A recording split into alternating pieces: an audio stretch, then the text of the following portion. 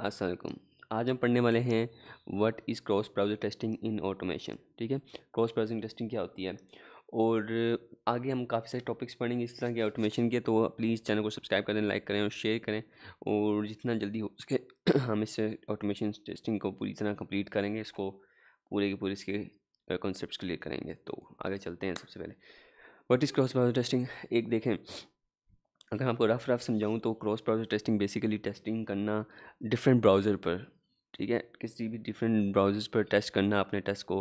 Cross browser testing होती है, कोई वेबसाइट है, आप जिसको टेस्ट कर रहे हैं, वो हर ब्राउज़र पर चला कर टेस्ट करना, वो क्रॉस ब्राउज़र टेस्टिंग होती है। चलो इसको पढ़ते हैं, फिर देखते हैं क्या होता है। With web application you don't know in advance which browser user will be use तो जिस तरह हमें पता होता है कि कोई भी ब्राउज़र यूज़र यूज़ कर सकता है वो सॉरी हमें ये पता होता है, कोई कोई ब्राउज़र यूज़र यूज़ कर सकता है, लेकिन हमें ये नहीं पता होता कि कौन सा ब्राउज़र वो यूज़ करेगा।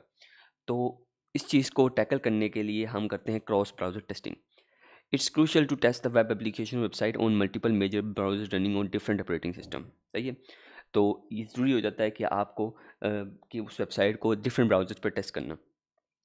Cross browser testing is a type of browser automation testing where the tester verify if the web application will work smoothly on different browsers some of the popular include Google Chrome Mozilla Firefox Internet explore Safari तो cross browsing testing make sure करता है कि जिस browser पर आप testing कर रहे हैं, जिस जिस ब्राउज़र पर आप वो वेबसाइट टेस्ट करें वेरीफाई करें, उस पर वो वेबसाइट सही तरह चल रही है कि नहीं। ठीक है हर ब्राउज़र पे वो सेम उस तरह काम कर रही है, जिस तरह वो पिछले ब्राउज़र पे कर रही है, या एक ब्राउज़र पे जिस तरह अच्छी तरह वो काम कर रही है, उस तरह दूसरे ब्राउज़र पे भी अच्छी तरह कर रही है इस तरह तीसरे ब्राउज़र पे भी अच्छी तरह काम कर रही है। तो ये हो जाएगा बेसिकली क्रॉस ब्राउज़र टेस्टिंग और इसमें डिफरेंट ब्राउज़र आ जाते हैं, जैसे क्रोम फायरफॉक्स सफारी और H the goal of the cross browsing testing is to launch application on various browsers तो बेसिकली गोल यही होता है कि आप क्रॉस ब्राउज इंडस्ट्री में कि आपने डिफरेंट वेबसाइट ब्राउज़र्स पर वो एप्लीकेशन लॉन्च करनी है। Running on different operating system जो डिफरेंट किस्म के ओ एस पर रन करिए जैसे कोई लिनक्स पे रन करिए कोई मैक्स पे रन करिए कोई विंडोज़ पे रन करिए and verify that the application work as expected और ये वेरीफाई करना है कि वो एप्लीकेशन उस तरह काम कर रही है, वो एप्लीकेशन उसी तरह चल रही है, जिस तरह वो एक एक ओरिजिनल ब्राउज़र पर मतलब कि एक आम जो ब्राउज़र पर अपने फ़र्स्ट ब्राउज़र पर चलाई थी, उस तरह वो चल रही है। The tester look looks for design rendering issues and the functionality of the application and device specific functionality तो इसमें टेस्टर ज़्यादातर देखता है उसकी डिज़ाइन उसकी रेंटरिंग इश्यूज़ देखता है, उसकी फंक्शनलिटी देखता है और उसकी डिफाइस स्पेसिफिक पर्सनैलिटी देखता है फंक्शनलिटी देखता है। तो डिज़ाइन और रेंटरिंग लाजमी होती है क्योंकि ज़ाहिर है वो उस तरह का डिज़ाइन सेम उसी तरह का डिज़ाइन है, ये ऊपर नीचे हो गया, थोड़ा आधा कट रहा है डिज़ाइन ये बीच में मतलब कोई ना कोई प्रॉब्लम्स आ रही हैं, बीच में डिज़ाइन इशूज़ आ रहे हैं। तो वो भी चेक करते हैं और फंक्शनलिटी चेक करते हैं। So why do you why do you need cross browser testing तो हमें ज़रूरत क्यों होती है cross browser cross browser testing की? बेसिकली जो मैंने आपको बताया कर क्रॉस ब्राउज़र टेस्टिंग इसलिए ज़रूरी होती है कि हमें पता लगाना होता है कि कोई, जिस तरह हमारा एप्लीकेशन एक ब्राउज़र पर सही तरह चल रही है तो उस तरह सारे ब्राउज़र पर भी चल रही है, या ये ना हो कि उसी में चल रही हो, लेकिन बाकी में सेम ना चल रही हो। तो with web application you can guarantee the browser platform device your user might use to access your software जब आप एप्लीकेशन बना देते हैं एप्लीकेशन आपको गारंटी नहीं होती कि किस डिवाइस पर वो आपके सॉफ्टवेयर को यूज़ करेगा। Some user could be using row, Google Chrome on their Android phone इसी तरह सही बोल रहा है कि गूगल क्रोम को आप कोई बंदा अपने एंड्रॉयड मोबाइल पर भी इस्तेमाल कर सकता है और अपनी विंडोज़ पर भी इस्तेमाल कर सकता है और अपने क्या नाम है उसको, लिनक्स में भी इस्तेमाल कर सकता है और सफारी को अपने मैकबुक पर इस्तेमाल कर सकता है। तो हर डिफरेंट ऑपरेटिंग सिस्टम के लिए लाजमी हो जाता है कि इंसान के लिए कि हर डिफरेंट ऑपरेटिंग सिस्टम पर वो अपनी एप्लीकेशन टेस्ट करे और हर ब्राउज़र पर अपनी एप्लीकेशन टेस्ट करे ताकि वो चेक कर ले कि वो उस तरह परफॉर्म करी जिस तरह उसने, मैं पहली बार किया था। Cross cross browser testing ensure that your web application work as expected on different version of popular browser multiple platform and device it ensure that they user get the same experience and feature respective of which browser use. It helps to reach a wide range of goals and uh, users. Allow the user to switch browser and devices still get some same user experience increasing customer service तो ये सारी वही बात है कि ये make sure करता है कि यूज़र को एक्सपीरियंस सेम मिले और कोई इसमें डिफरेंस ना हो और इसमें कहीं wide variety of range of user को वो टैकल करे और काफ़ी सारे ब्राउज़र्स में वो सपोर्ट करें और यूज़र को अलाउ करे कि वो किसी भी ब्राउज़र में स्विच कर लें। तो इसका यही मकसद है। What is automated regression testing basically regression testing क्या होती है? मैं आपको बता देता हूँ रिग्रेशन हमने पीछे ही पढ़ गए हैं।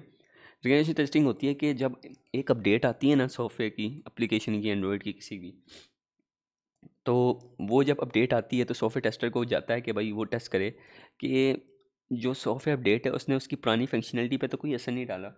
उसको कोई टैकल तो नहीं किया उसने कुछ मतलब कि उसमें चेंजिंग तो नहीं आ गई। ये ना हो कि मतलब कि वो फंक्शनल वाला कोई बटन था, वो अपना फ़ंक्शन परफॉर्म करने के बजाय वो वो अपना फ़ंक्शन परफॉर्म नहीं कर रहा, वो समझो पेज खोलता था, वो पेज नहीं खो रहा, या कोई वो एक्सट्रैक्टिंग करता था, वो एक्सट्रैक्ट नहीं कर रहा, या कोई कन्वर्टिंग करता था कन्वर्ट नहीं कर रहा, वो मतलब कि फ़ंक्शन में कोई उसकी प्रॉब्लम तो नहीं आई उस नई अपडेट से।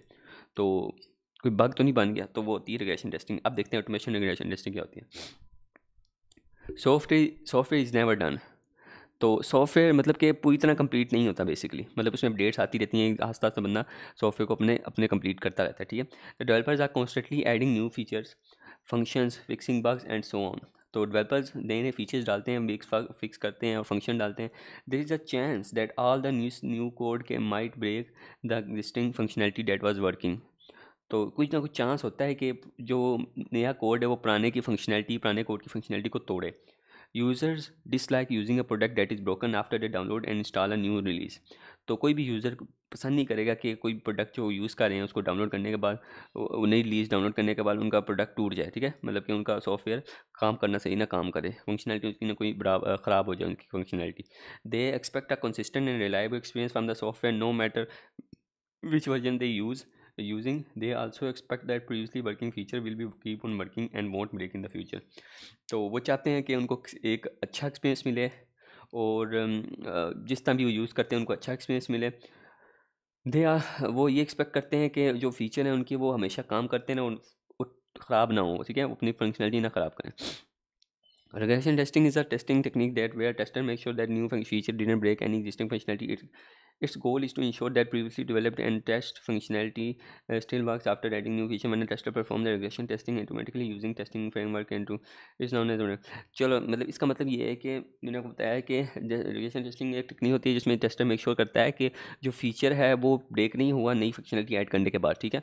और um, इसमें ऑटोमेशन टेस्टिंग क्या परफॉर्म करती है कि इसमें होता है कि when a tester perform the testing automatically using testing frameworks and to it's known as automatic regression testing तो बेसिकली अगर बंदा मैनुअली करे तो मैनुअल टेस्टिंग हो जाएगी रिगेशन टेस्टिंग और अगर उस ऑटोमेटेड फ्रेमवर्क यूज़ करते हुए उसमें परफॉर्म करे वो टेस्टिंग तो वो ऑटोमेटेड रिग्रेशन टेस्टिंग हो जाएगी। In automated regression testing a tester run the suite of regression test after an each new lease of the software तो रिगेशन ऑटोमेटेड रिगेशन टेस्टिंग में जो टेस्टर होता है, वो डिफरेंट किस्म के स्क्रिप्ट रन करता है नई लीज पर।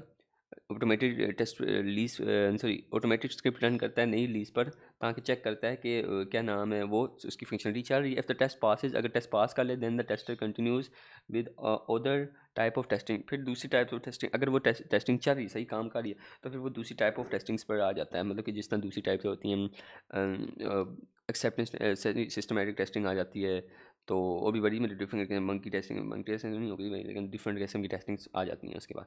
तो continues after typing over if it fails लेकिन अगर फेल हो जाए then there is no point in further proceeding with test until the developer fix the problem immigration test hence they also act as a time saver for tester ensure the quality of the software तो अगर वो test fail हो जाए अगर वो test fail हो जाए तो फिर वो उस पर कोई पॉइंट नहीं बनता उसको आगे टेस्ट करने का, जब तक उसको डेवलपर ठीक नहीं करता। तो ये हमारा टाइम भी बचाता है, इसलिए इसको टाइम सेविंग भी कहते हैं, इसको मतलब कि टाइम सेविंग रिग्रेशन टेस्टिंग भी कहते हैं। तो बेसिकली ये होती है रिग्रेशन टेस्टिंग ऑटोमेशन में। What are some best practice in test automation test automation में सबसे बेस्ट स्ट्रेटजीज प्रैक्टिस कौन सी हैं? तो अभी हम देखते हैं। डिसाइड वट टू ऑटोमेट पहली स्ट्रेटजी है, पहली सॉरी वे है, क्या कहते हैं, क्या था ये? हाँ प्रैक्टिस है कि हमें क्या ऑटोमेट करना है, सही है? तो it's not possible to practical it's not possible possible और practical to automate certain test such as usability accessibility exploratory testing और native testing that frequently change तो ये पॉसिबल नहीं है और प्रैक्टिकल भी नहीं है कि ऑटोमेट करें टेस्ट को सच एज यूजिबिलिटी टेस्टिंग हो एक्सप्लोरिटी टेस्टिंग हो नॉन रिपीटेटिव टेस्टिंग हो डेट फ्रिक्वेंटली चेंज जो मतलब साथ साथ चेंज होती रहती है मतलब बीच बीच में चेंज होती रहती है। तो उसको टेस्ट चेंज कर, टेस्ट करने में ऑटोमेशन उसकी करने में कोई फ़ायदा नहीं है। मतलब कि वो चीज़ को ऑटोमेट करें जो रिपीट हो रही है। उस चीज़ को ऑटोमेट ना करें जो अनरिपीट रिपीट ना हो रही हो ठीक है? तो ये assign test cases based on skill and experience तो जो टेस्ट केसेस बनाए असाइन करें उनके स्किल और एक्सपीरियंस पर, ठीक है? मतलब कि उनकी महारतों पर एक्सपीरियंस पर। When driving test cases take in record test skill and experience of the tester the complexity of severity of the feature under test तो मतलब कि जब टेस्ट केस को डिवाइड कर रहे हो तो उस टेस्टर को वो टेस्ट केस दें जो उसकी एक्सपीरियंस और स्किल के बराबर हो और जिसको, जिसका ज़्यादा एक्सपीरियंस हो उसको ज़्यादा कॉम्प्लेक्स दें और जिसका कम एक्सपीरियंस हो कम कॉम्प्लेक्स दें और जितना ज़्यादा सवीर हो उसको ज़्यादा, जिसका ज़्यादा एक्सपीरियंस स्किल हो उसको सवीर दें, ज़्यादा सवीर दें और जिसका कम एक्सपीरियंस हो उसको कम सवीर दें, इसके मुताबिक टेस्ट डिवाइड करें। Removing uncertainty Whole goal of the uh, test automation is to ha have reliable, accurate, consistent tests and that will help feedback to the tester. तो पूरा गोल यही होता है ऑटोमेशन का कि एक रिलायबल एक्यूरेट और कंसिस्टेंट टेस्ट प्रोवाइड करें जो हेल्पफुल और टेस्टर के लिए if the test fail due to bugs in the test itself और it's giving false positive then the R Y on the test automation start और अगर जो टेस्ट है वो फेल हो जाए बग्स की वजह से टेस्ट में ही, समझ रहे? टेस्ट में ही फेल हो जाए। तो फिर उसकी जो और फॉल्स पॉजिटिव और मतलब गलत पॉजिटिव्स दे मतलब कि बग्स हो रहे फाइंड हो रहे हैं, लेकिन वो फिर भी पॉजिटिव दिखा रहा हो। तो उसकी आर वाई मतलब उसकी, उसका फ़ायदा, समझ रहे? उसका दोबारा कोई फ़ायदा नहीं है। उसका फ़ायदा डिक्रीज उसका मकसद मेन मकसद डिक्रीज़ होने लग जाता है। आ रही होती है इसको उर्दू में कहते हैं मेहनत का फल ठीक है? मतलब कि उसका मतलब कि जो बनाया हमने ऑटोमेशन की है इतनी ज़्यादा प्रॉफिट उसका बड़ा ख़त्म हो जाता है ऑटोमेशन का समझ रहे इतनी ज़्यादा उसको ऑटोमेशन बनाई हमने पूरी स्क्रिप्ट लिखी हैं वो सारी उनका कोई फ़ायदा नहीं रहता तो वो कम होने लग जाता है। तो ये आ, हो जाती है अनसर्टी uncertainty choosing the right framework and tool अब इसे मना दे कि बहुत सारे टूल्स होते हैं ऑटोमेशन परफॉर्म करने के लिए और किसी गलत टूल को चुनना फिर अपना टाइम ज़ाया करने के बराबर है और कोई फाल्स कॉन्फिडेंस देता है वो। तो इसलिए बेस्ट यही है कि आप एक अच्छा टूल चुनें, जैसे कि सलेनियम है क्योंकि उसको दस बारह साल हो गए हैं यूनिवर्सिटी में आए हुए तो उसके ऊपर कोई शक नहीं किया जा सकता। अब साइप्रस है साइप्रस और नया है तो ज़्यादा लोग सलेनियम पर टेस्ट करते हैं, लेकिन साइप्रस अब आस्ता आस्ता बढ़ता जा बढ़ता जा रहा है तो वो भी बीच में आ रहा है। प्ले राइट अभी बहुत ज़्यादा नहीं है। लेकिन ये है कि आस्ता आस्ता उस उस पहले, सबसे पहले उसी फ्रेम को वर्क को ट्रस्ट करें जो आपको कई सालों से सही फ़ायदा दे रहा है। Keeping test record in a bug database जो टेस्ट रिकॉर्ड है ना, वो सारा बग डेटाबेस में रखें। एक बग डेटाबेस रखें ना आप, जिस आम डेटाबेस होती है, उसमें डेटा जाता है। इस तरह बग डेटाबेस भी बनाए। उसमें सारा डेटा जाएगा बग का, ठीक है? टेस्ट रिकॉर्ड का sorry using a bug database is best practice where the team usage the test automation और टेस्ट ऑटोमेशन और not Whenever new bug found can be found automation tool or the tester, they should record a new bug tracking tool with the exact steps to produce reproduce the bugs. तो मतलब कि जब भी कोई नया bug find हो तो उसको बग जब बैग ट्रैकिंग टूल से नया बग फाइंड हो उसको रिकॉर्ड कर लें और फिर वो आगे जब उसको दोबारा बग को रिप्रोड्यूस करेंगे तो बहुत आसानी होगी दोबारा रिप्रोड्यूस करने में। तो इसका ये फ़ायदा हो जाएगा। What is test automation pyramid तो टेस्ट ऑटोमेशन पिरामिड क्या होता है? Martin Fowler first propose the concept of test automation pyramid अच्छा मास्टर फॉलो ने पहला कॉन्सेप्ट दिया था दो हज़ार बारह में टेस्ट पिरामिड का तो इस टेक्निक ये वो टेक्निक होती है how you can how you should use different types of test automation to get the maximum value out of them तो इसका ये मकसद होता है कि किस डिफरेंट टाइम की डिफरेंट टाइप्स की ऑटोमेशन को यूज़ करके मैक्सिमम वैल्यू निकालना। The main idea behind the test pyramid is to have many unit tests and few uh, broad tests for the GPUI. तो इसका मेन आइडिया ये था कि बहुत सारे यूनिट टेस्ट करना ठीक है? बहुत सारे यूनिट टेस्ट बनाना और कुछ बड़े टेस्ट बनाना GUI के लिए ठीक है? फ्यू ब्रॉड टेस्ट फॉर जी अच्छा ये पिरामिड है। सबसे पहले यू टेस्टिंग है फिर उसके बाद सर्विस है फिर यूनिट है। और मेरे हाथ से सबसे ऊपर जो जा रहा है, वो उस पर डॉलर डॉलर लिखा हुआ तो उस पर ज़्यादा फ़ायदा हो रहा है, समझ रहे उस पर प्रॉफिट ज़्यादा है। अच्छा जी testing is very brittle user interface है constantly changing and enhancement to the software easily breaks up अच्छा यू यू टेस्टिंग होती है, बहुत मतलब नाजुक होती है, वो टूटने लायक होती है तो मतलब इजीली इजी नहीं होती मतलब वो हर वक्त चेंजिंग होती है, उसमें कोई ना कोई प्रॉब्लम आती रहती है। तो an enhancement to the software easily breaks up many test कोई भी एक एनहांसमेंट सॉफ्टवेयर का सॉफ्टवेयर के बहुत सारे टेस्ट को डिस्ट्रॉय कर सकता है।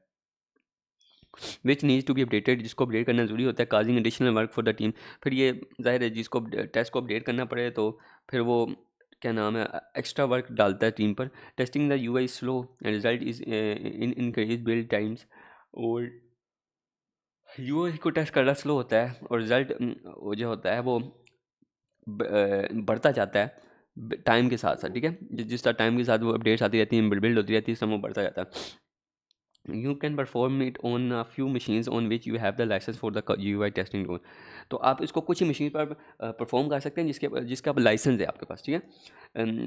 जी ओ टेस्टिंग टूल्स के जिसका लाइसेंस है ना आपके पास, वो उन्हीं मशीन पर मतलब के परफॉर्म कर सकते हैं कुछ मशीन पर।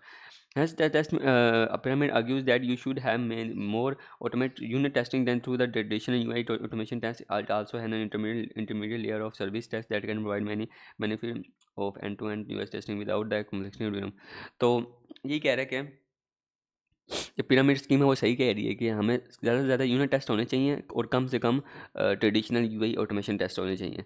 क्योंकि it has an intermediate layer of service test इसके अंदर एक लेयर होती है सर्विस टेस्ट की that can provide many benefit of end to end UI test जो कि, क्या नाम है डिफरेंट किस्म के फ़ायदे प्रोवाइड करती है to end to end UI test of end to U test के। Without the complexity of dealing with the U I framework U I framework को साथ मतलब काम करने के बजाय हम अगर आम यू आई टेस्टिंग करें इट आल्सो है ना मतलब कि आम automation U I testing perform करके हम उससे काफ़ी सारे फ़ायदे ले सकते हैं, समझ तो हमें इसकी यू आई फ्रेमवर्क की कम्प्लेक्सिटीज़ को डील नहीं करना पड़ेगा, जो मतलब काफ़ी सारी कॉम्प्लेक्स चीज़ें होती हैं यू आई फ्रेमवर्क में। तो ये था यू आई टेस्टिंग के क्यों पिरामिड स्कीम में यूनिट टेस्टिंग को यू आई टेस्टिंग पर ज़्यादा फोकस दी जाती है। तो गाइज़ इतना ही पढ़ते हैं अपनी इसके लिए, अपने इस लेक्चर के लिए। अगले लेक्चर में इंशाल्लाह मिलेंगे। देखते हैं अगले लेक्चर में किस तरह की आगे पाँच और टॉपिक्स पढ़ेंगे। इंशाल्लाह, अल्लाह हाफिज़।